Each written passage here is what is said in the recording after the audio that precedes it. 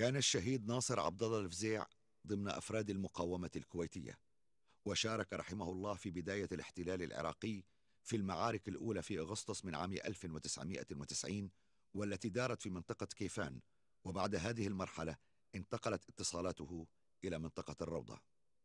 كان الشهيد ناصر دائم الاستشعار بالشهادة في سبيل الله والوطن وقد تطوع في تلك الفترة بالعمل في الجمعية التعاونية في المنطقة كما عمل بشركة المخابز الكويتية لتوفير احتياجات المواطنين من الخبز.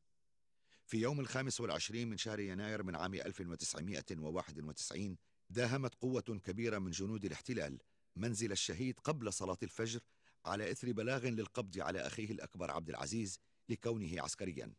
لكنهم لم يعثروا عليه بالمنزل فاعتقلوا الشهيد وأخيه الأصغر عبد الحميد وهم حفاة وبملابس النوم كما اعتقلوا عددا كبيرا من شباب المنطقة.